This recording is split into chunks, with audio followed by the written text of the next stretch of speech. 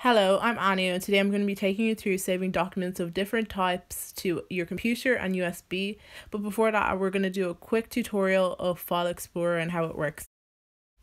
Here we're going to click onto File Explorer in the taskbar. The cursor is currently hovering over the File Explorer ribbon. These buttons are used for common tasks that we perform to our files and folders. Now, the cursor is hovering over the navigation pane, which gives us access to the libraries of documents, pictures, downloads, as well as storage devices on our computer.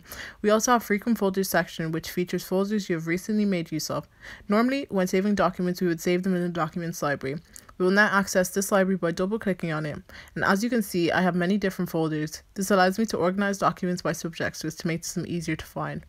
To create a new folder, we will click on the yellow folder icon to the top left just below the File Explorer ribbon, or we will click CTRL Shift plus N, which appears on the screen now. This creates a new folder and we will call our new folder brand new folder. Once it is made, I will click into it and you guys will see just now I have no documents in it as um, I have saved nothing into it. If I right click on my folder, um, and click properties, we'll see exactly where my, my folder is saved. And if I right click again, we'll see all the different options I have, whether it's to save, rename it, delete it, cut it, whatever. So there's many different things to do to your folder once you've created it. I've now gone ahead and made a Word document and saved it within our brand new folder. So what I'm doing now is I'm highlighting and trying to right click um, as you can see, I'm slightly struggling, so don't worry if it takes you a minute to get the hang of things. So highlight, right click, and we're going to see all these options coming up to open, to edit, to rename, etc. But what I'm going to do is I'm actually going to delete the document and I'm going to recover it. So once I've deleted it now, I press CTRL and I press Z at the same time. And look, it's recovered. So if you ever accidentally delete a document, um, there's always a way for you to recover it most of the time anyway.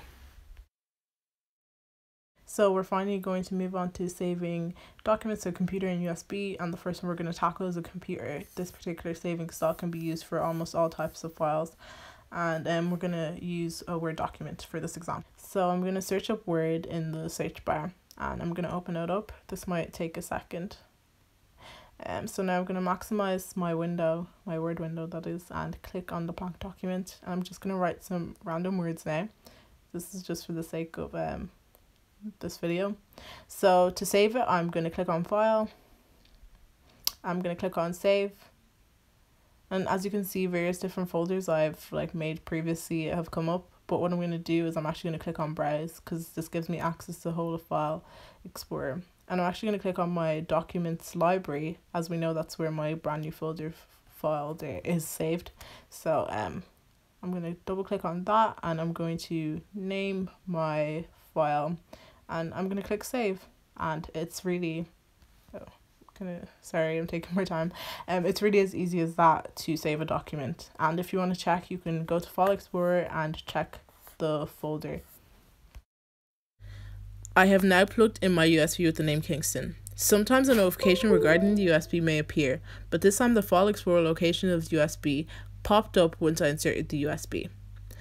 The USB actually has no files or folders in it. That is why it is empty, but this will change once we save a document to it. Um, I will now maximize the File Explorer window. And in the navigation pane, we can see the name of the USB is actually there. And this is because the USB is a storage device. And as expected and as mentioned before, um, it will be in the navigation pane. So we're going to open a blank document and I'm going to maximize the Word document and again I'm just going to write some random words and file save and now we're going to save it to the USB not to the computer so we're going to browse and in the navigation pane we'll scroll down we found Kingston we double click and as we already have the name we'll just click on save. And now we're going to open a brand new uh, file explorer window to make sure we have saved correctly.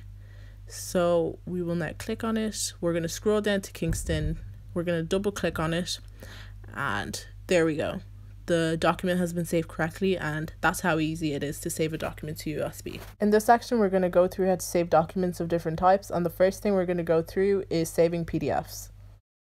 We're going to open the first random document we made, click on file, then we're going to click on export.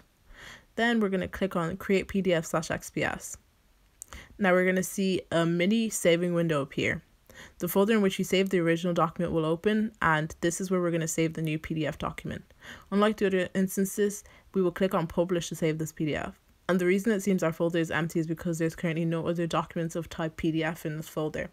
Um, if you remember before, they were all Word documents. So now we're going to go and check and make sure it was saved correctly. Go to the Documents library then we're gonna click on brand new folder and there we go we have two randoms one of type word one of type pdf and we're gonna double click on that just to make sure it actually worked out properly and when we double click on it we see that it was all saved properly now we're going to learn how to save a document as any different file type using Word and this applies to many other types of files as well.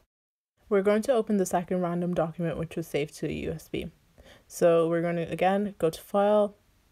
We're going to go to Save As this time, not Save. And below the file name, we'll see the numerous types of files we can save a document as. And in this instance, we're actually going to save it as an XML. And we're going to click on Save to the right. And we're going to double check this by going to File Explorer, scrolling down to the USB called Kingston, and there we have it. We can see there's two different um, random documents. One as an open document text and one as an XML text, which means that it was successfully saved. So again, just to reiterate, we go to File, we go to Save As, not Save, Save As if we want to save as a different type, and we go below the name, and we have all the different possible types of files we can save it as. And that brings us to the end of our saving documents tutorial. I hope that this helped you out in some way and thank you so much for taking time out to listen.